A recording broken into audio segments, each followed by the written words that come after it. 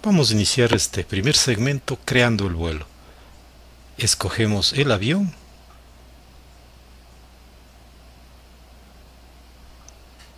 Fielder Wilco Airbus Series Volumen 1. Escogemos el modelo 320 CFM y el repaint de Tame.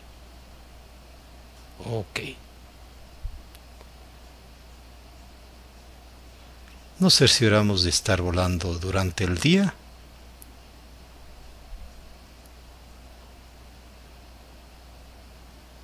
Nos ubicamos en el aeropuerto de Quito, tipeando ahí CQ y escogemos la posición 14 del aeropuerto.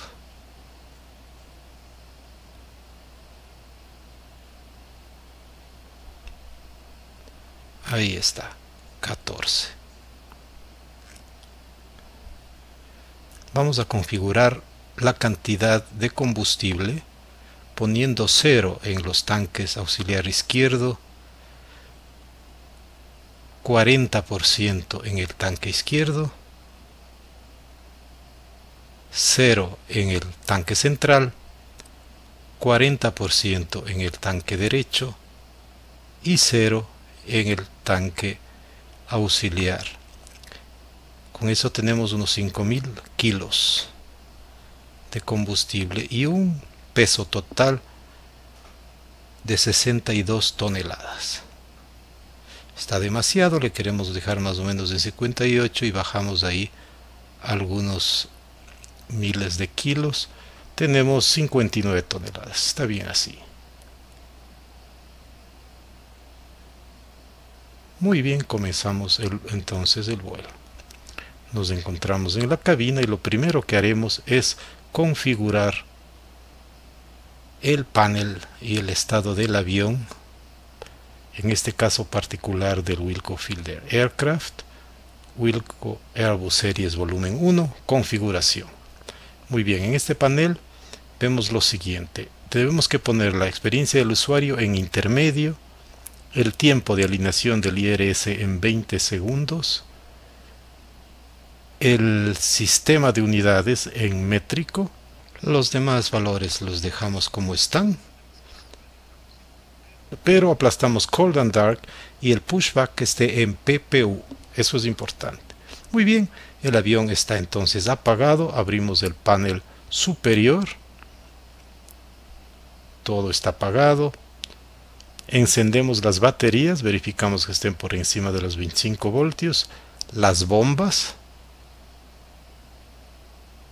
y los dos generadores. Vamos a encender entonces el APU, ese botón y el que no se ve en este momento que está más abajo y la luz de navegación ya que el avión estará energizado.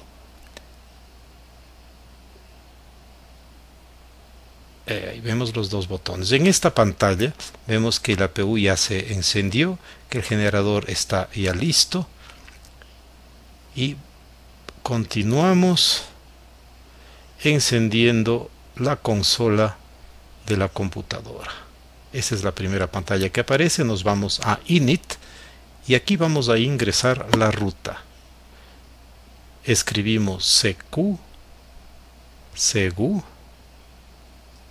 e ingresamos la ruta tipeando el botón superior derecho. Esa ruta no la vamos a utilizar. Tipeamos return. Ingresamos el nivel de vuelo 210. Alineamos el IRS. Nos vamos a la siguiente página y aplastamos dos veces los dos primeros botones superiores derechos para que se ingresen los valores de pesos y de centro de gravedad del avión. Perfecto, nos vamos a Performance, la primera página que aparece ahí. Ahí ingresamos dos como puntos de flap y tipeamos los botones superiores izquierdos y ahí nos ingresan los valores de B1, B rotación y B2. La altura de transición queda en 18.000. En los siguientes paneles de performance vemos las velocidades para las fases de ascenso, de crucero y de descenso. Ponemos un índice de costo de 45% y vamos a mirar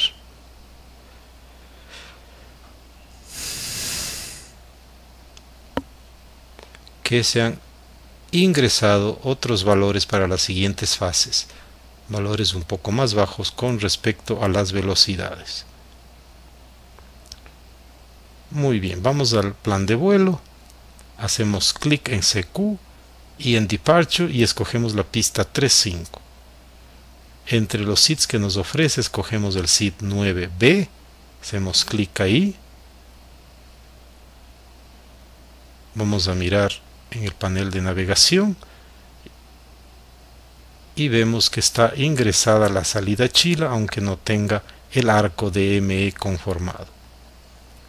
Muy bien, vamos otra vez a la consola, aplastamos el botón izquierdo sobre chila y vamos a ingresar la Upper Whiskey 1 a DACAP en Via GoTo es de indicar de que la whisky 1 no está en esta base de datos, aunque es, exactamente la vía que utilizamos. Vemos entonces que se ingresaron Timin, Artam y Dakap, los nombres de las intersecciones que nos interesan. Sobre ACAP ponemos en, como Next Waypoint el Papa Alfa Lima. Vemos que hay varias opciones, pero escogemos la correcta, exacto, y vemos que se ingresó. Ingresamos y vamos a proceder a eliminar la discontinuidad entre el Papa Alfa Lima y Guayaquil. Y vemos que ya se ingresaron y calcularon las altitudes para la ruta programada. Podemos irlas revisando para ver que corresponden a las restricciones que constan en la salida chila que está publicada.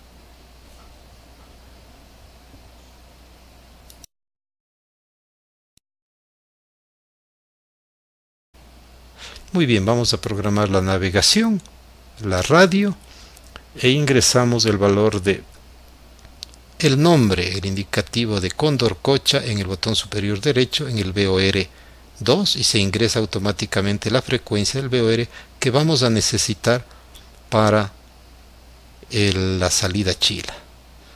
Nuevamente verificamos que las alturas, las limitaciones que están en la carta estén respetadas en nuestro plan de vuelo, que queda entonces listo. Continuaremos en nuestro siguiente segmento. Gracias.